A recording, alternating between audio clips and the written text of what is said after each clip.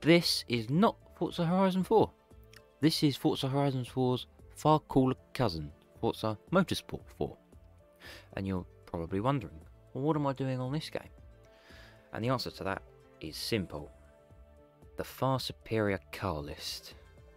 And I mean far superior car list. But uh, I do actually have something I wanted to do. This.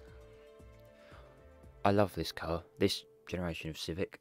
It's actually rather strange that neither of these cars have returned. But I want to build myself a Civic. This Civic. Also this, look at this. I miss that car. Obviously that. It's in the uh, it's in Motorsport 7, not in Horizon 4 though. I've got no idea what games that one's in. All of these are in Horizon. That, however, I don't know if that has appeared in a game since this one. The Superior Integra. If it has, please let me know. Uh, this. That's not in Horizon 4. I wish it was, because that's cool. And, uh, that's just gorgeous. Obviously, I understand why that's not in Horizon 4. But anyway, we're building a Civic. A very nice little Civic. What colour do we get it in? I'm building my perfect Civic. So it would probably be yellow. Yeah. I'd definitely have a yellow one if I could. I love these Civics. Now, if you have never played the old Forza games, I kind of feel sorry for you. Because let me tell you, they put a lot more effort into the customization. And even the Forza Aero looks better. Like, look, it looks like, where's the wing? This is going to have the hatchback ring. Ring? Wing. So this is probably not a good example, because this hasn't changed. This wing is the only thing left of the old Forza Aero in the newer games. The hatchback wing. But it doesn't look so bad compared with the old Aero. But yeah, what kit should we go with? We could go the Mugen one. Mugen's cool. Mugen or JS Racing. I kind of like how low that one is. Let's see if the full kit is that low. Oh, there's no side skirts. That's no good.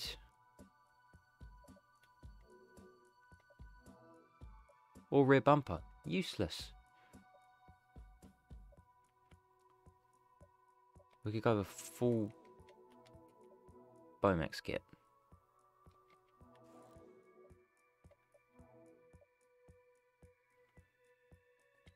Let's see how that looks. Oh, we've got a we've got a bonnet. Yeah.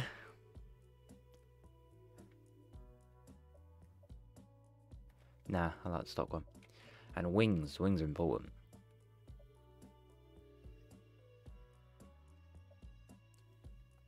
That's very large. I don't think I like either of these.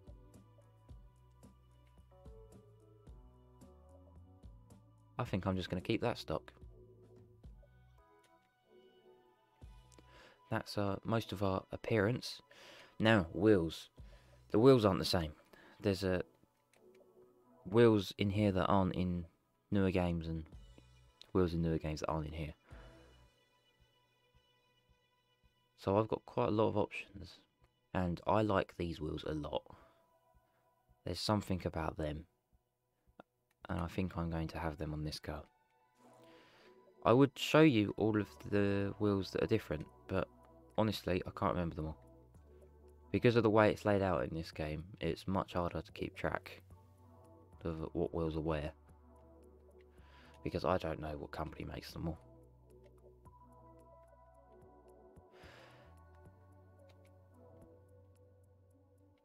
Right, we've got our wheels. Mm. I think 16s are good.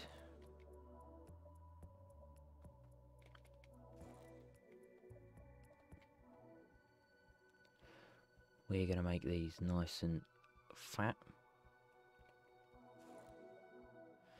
And again, I'm not building this to be some class racer or anything.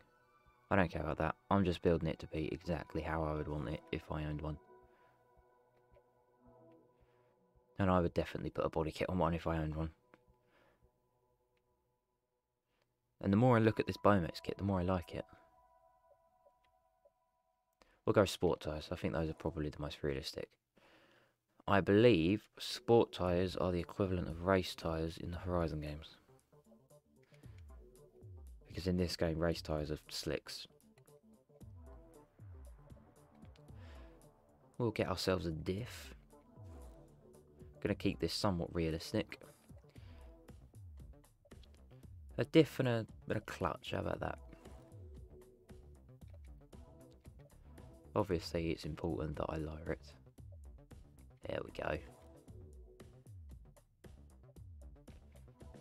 And, uh, watch this car not show it, but in this game, uh, I don't know if you're going to be able to see it. If it even does it to this car. Look, I don't know if you can see that. Weight reduction removes the passenger seat. I think it might remove some other things as well. But I don't think they do that anymore. They definitely don't in Horizon anyway. Look, can you see the passenger seat there? Gone. Why don't they do that anymore? Uh, but actually, yeah, I am going to do some weight reduction. I want my passenger seat though. Oh, I'm going to do these just because I can. Now, brakes. Well, brakes are quite good actually. Yeah, we'll put street brakes on.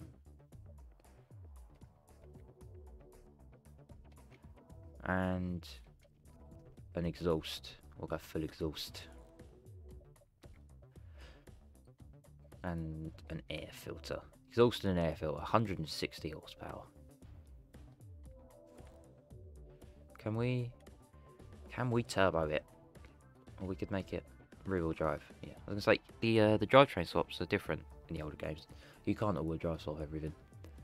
Not that you'd do that in the motorsport games anyway. But oh, we could supercharge it. I want to single turbo it. Just to maybe we'll upgrade it one stage.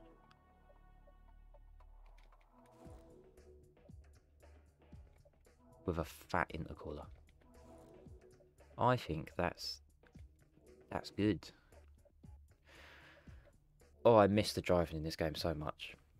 I was playing it all night just because I booted up to make sure it all worked before doing this video and got slightly addicted.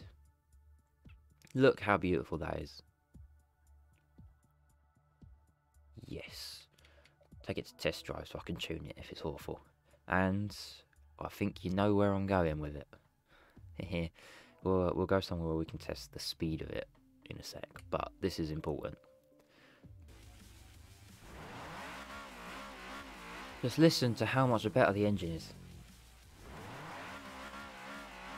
Like, this might sound really stupid, but is it not easy for them to just take the noises from this game and put them in the newer games? Because the Honda sounds so bad in the newer games. But anyway, let's admire our Civic for a second. I think I've done a pretty good job with this. I want these wheels in Horizon. And let's go. Admire 10 miles of Japanese mountain road. I miss this map so much. If they don't bring this back for the Motorsport reboot, I'm going to be severely disappointed.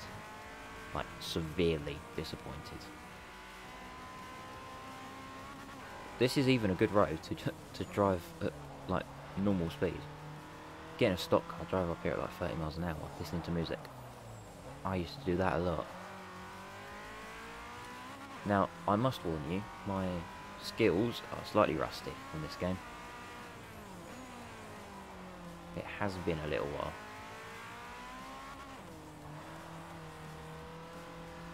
I probably should have uh, practiced a bit more before doing this video, but I think we'll be okay.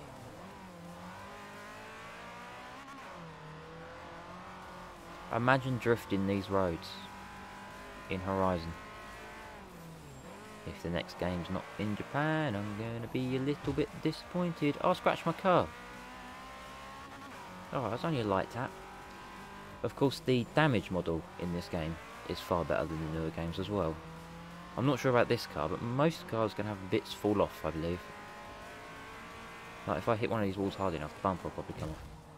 I wasn't trying to do that intentionally. That's just my rusty skills. I don't want to look at it damaged. Let's take a nice first-person drive.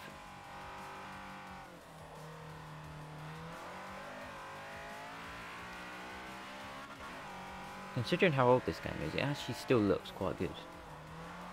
Oh, little front wheel drive oversteer.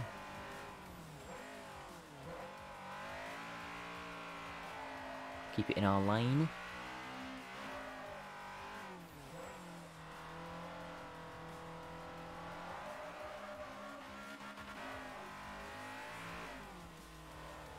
This is so relaxing. God damn it, I missed this game. Looks like I'm going to be taking a break from Motorsport 7 and Horizon 4.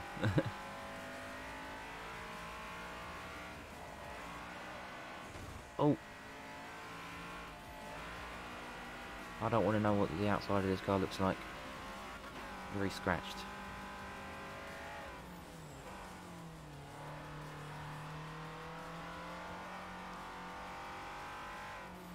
And uh, this game is the reason we don't have the DeLorean anymore. I believe it was removed in an update, but in the Auto Vista mode, which is different in this game, in this game it was a select few cars, and there was a Jeremy Clarkson voiceover telling you about the car and the history. And there was one for the DeLorean, in which Jeremy Clarkson said a lot of bad things about DeLorean and its founders. And that is why we don't have the DeLorean anymore. Ooh, because they got upset. And uh, that was that. It was never seen in a Forza game ever again. And that's why you're likely probably not ever going to see it in a Forza game ever again.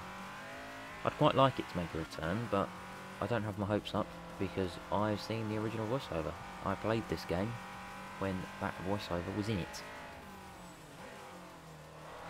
I don't think it was that bad, to be honest, but apparently the license holders for DeLorean did.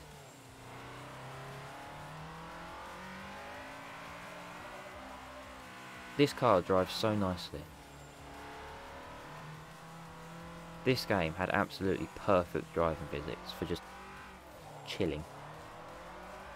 I imagine Motorsport 7's is probably technically more accurate to real life, while still maintaining its casual side. But in this game it just felt so good. Also the sense of speed is much better. We're only going at about 60 miles an hour in most places up here. And this is what going 120 would feel like in Horizon.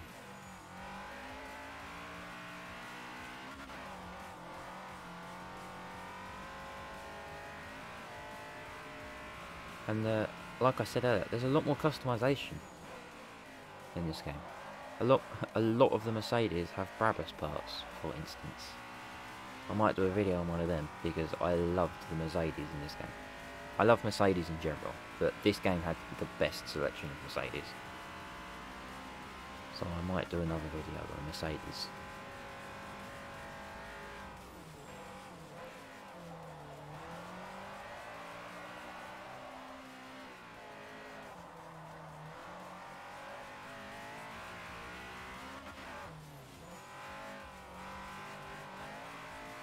And if you're watching this and you've never played this game, I recommend going out, buying an Xbox 360 and this game and playing it. An Xbox 360 is worth it for this game alone. And I imagine they're not that expensive anymore. There's been two generations out since, so I believe they're about 50, 60 quid now. Which is incredibly good. Especially as you get to play the original five Horizon games although I think Horizon 1 is backwards compatible. That's another thing. Why is Horizon 1 backwards compatible and Motorsport 4 isn't? What's that about? Bit upsetting. I imagine it's... I was going to say I imagine it's because of licensing, but how does that affect anything? Horizon 1's been delisted, yet it was still backwards compatible. Maybe it's because they knew that if this game was backwards compatible, nobody would play Motorsport 7 ever again. And they're right. Why play Motorsport 7 when you can play car football in a Toyota Prius in this game? I'll probably do a video on the Prius as well, because that car was great fun. Oh, I didn't crash, you didn't see that. Oh, I didn't crash, you didn't see that.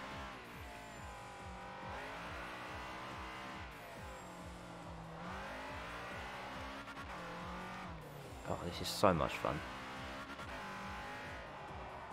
I have all of the Forza games. So if you want me to do a video driving any car in any game, let me know.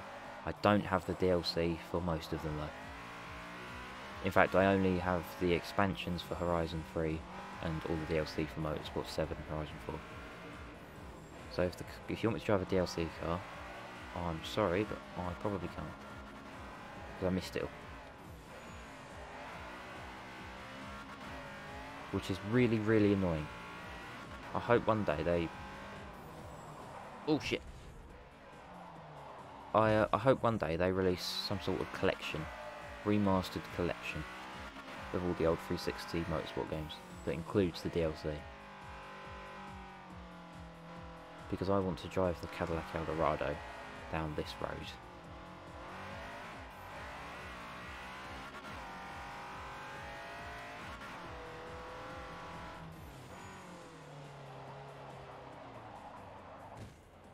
I keep forgetting this is front wheel drive. But it's okay, it looks fine from the inside. I'm slightly scared to go into third person, as I've destroyed my perfect Civic. But yeah, if you want me to do a build on any cars in any games, let me know. And I'll do it.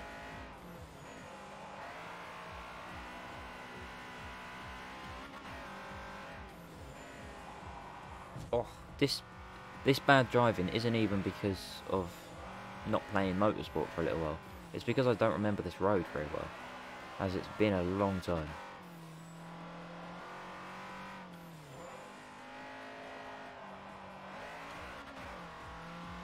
Should we see what the car looks like in third person? Oh, oh, it's not looking healthy, is it? It's not looking healthy at all. Tunnel! I love tunnels.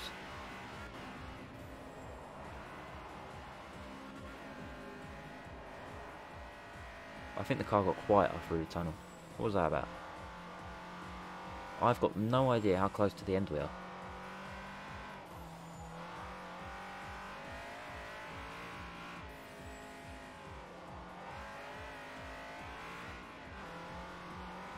Oh. Oh, I might just stop doing Horizon 4 videos entirely. Just focus on Motorsport 4. The driving's so good.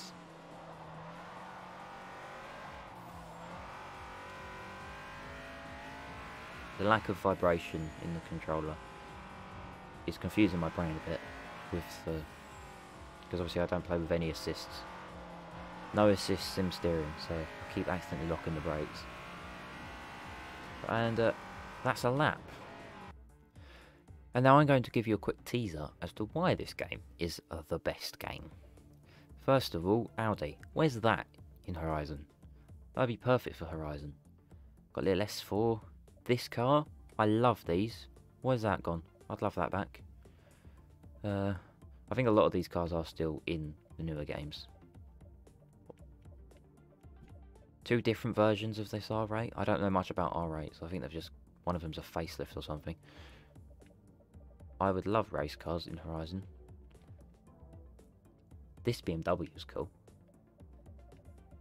Uh, I think a lot of these are probably the same as well. What I would do to have that in Horizon. What what else we got? Where's my Mercedes? Obviously there's the DeLorean. Everyone misses that. Oh, the Ferrari 612 Spaghetti, I think's in this game. Yes. The 612 Spaghetti. Where did that one go? I love that car. Then there's the Challenge. Who cares about the Challenge when you've got the 612 Spaghetti? Uh, the Ford KA. That's a strange car to have in a Forza game, isn't it? But that was what was so good about this game. There's Thunderbird. there was a lot of awful cars, a lot of really like that.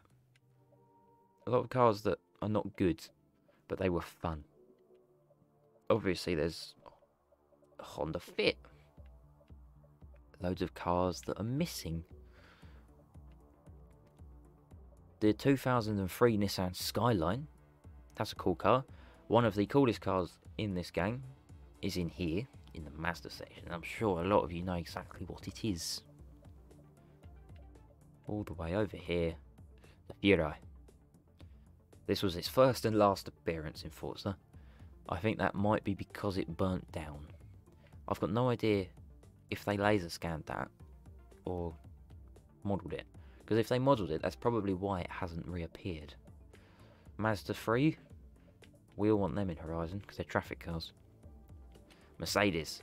There are so many good Mercedes. Look at that. Why don't we have that? Even that. Look, they just look at them. They're so gorgeous. And they're missing from the newer games. This car's got Brabus parts. You remember when everyone was making a big deal out of the Mercedes thingy in Horizon 4 having Brabus parts? That used to be normal. Don't praise them for doing things that they used to do all the time. This car, I love this car. I don't like that car. That's ugly car. Nissan, there's the, the Skyline that I like. Where is it? That one. Been a while since that's shown up, I think. Uh, aside from that, I don't think that's the same GTR we have now. I think that was replaced with the Black Edition. If that is the Black Edition, uh, feel free to correct me. But I don't think it is. This was the Mosler's first appearance. It's nowhere near as fast in this game. I would pay money for this in Horizon 4. And that, and that, and that. I do love those games. Ruf. We don't have Porsche in this game, I don't think. And we got Ruf instead. SEAT, where did they go? I love SEAT. Obviously, Scion. Those are hideous cars. They can stay. I don't care. We got the Top Gear car. That's cool. And of course, the most important, the Prius. If there's any car they bring back from this game, I want it to be that. Maybe that as well. That was one of the coolest leakers. The Altezza. I would like one of them. That's a very realistic car. see them a lot around here. That can stay out. I don't like that. I'd like one of them. We also had some more Volvos. Do like Volvos. And look, just more average, boring cars. This is why we miss this game. Because it was the best game they ever made. Anyway, that will be it for today's video. Again, if you haven't played this game, or you do have this game, go and play it. If you don't have it, go out and buy it. I promise you, it's only going to cost you a tenner. If you don't have an Xbox 360, that's only going to cost you about 50 quid nowadays. So that's 60 quid, and you get to play the best Forza game ever made. And let me tell you, it is 100% worth it. 100%.